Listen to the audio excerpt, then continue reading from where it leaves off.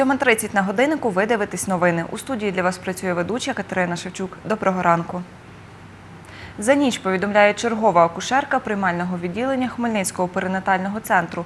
Лідія Ланкевич народилося п'ятеро дітей, двоє хлопчиків та три дівчинки. Найбільша вага дитини 3 кг 100 грамів, найменша 2 кг 750 грамів. Сьогодні вночі, повідомляє прес-секретар управління патрульної поліції в області Людмила Чернилевська, у Хмельницькому виявили троє водіїв, котрі керували авто у стані алкогольного сп'яніння. Сталася одна дорожньо-транспортна пригода без травмованих. На службу 102 надійшло 73 виклики. За словами Людмили Чернилевської, більшість з них стосувалися порушення тиші та розпиття алкоголю у недозволених місцях. Патрульні виявили більше 69 випадків порушень правил дорожнього руху. Прощання з подружжям хмельничан та їх донькою, котрі загинули 27 жовтня у ДТП, відбудеться в обласному центрі у середу 30 жовтня. Про це розповіли працівниця Хмельницького національного університету, де працював загиблий 42-річний Сергій Михальчик. Жінка не захотіла себе називати. За її словами, чоловік працював викладачем на кафедрі економіки, підприємства та підприємництва Хмельницького національного університету.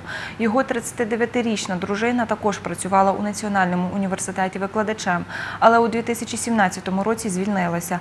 Нагадаю, ДТП, у котрій загинув водій, дружина та 14-річна донька, сталося позавчора о 8 годині 16 хвилин поблизу села Солопківці Ярмолинецького району. Про це розповіла начальник сектору комунікацій Нацполіції області Інна Глега. У ДТП вижив 10-річний син подружжя.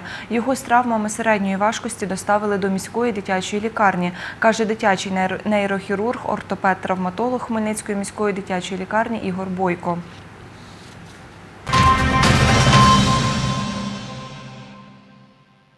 З 1 листопада Красилівська міська рада розпочинає прийом заявок на реалізацію проєктів в рамках програми Бюджет участі. Про це розповіла радниця з комунікації Хмельницького центру розвитку місцевого самоврядування Алла Собко.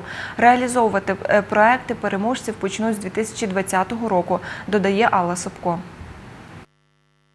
Красилівська міська рада прийняла програму бюджет участі, е, в рамках якої виділила півмільйона е, гривень на реалізацію е, ідей місцевих жителів.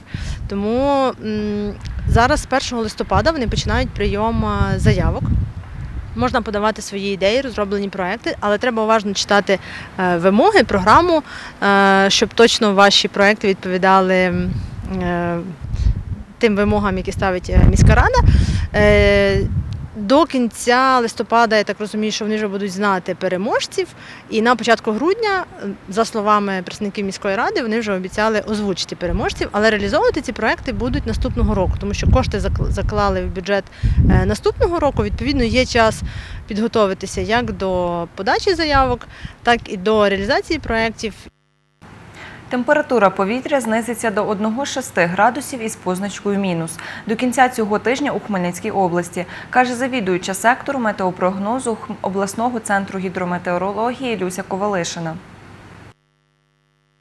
29 жовтня очікуємо вночі часом невеликий дощ, день без істотних опадів, вітер північно-західний 5-10 метрів за секунду. Температура повітря вночі по області 1,6, у Хмельницькому 2,4 градуси тепла, в день по області 16, 6,11, в обласному центрі 7-9 градусів тепла.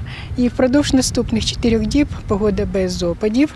Нічна температура до кінця жовтня знизиться до 1,6 градусів морозу. 1-2 листопада підвищиться трохи до 3-8 градусів з позначкою плюс. Це була остання інформація цього випуску. Більше новин знаходьте на нашому офіційному сайті та на сторінці у Фейсбук. Побачимось.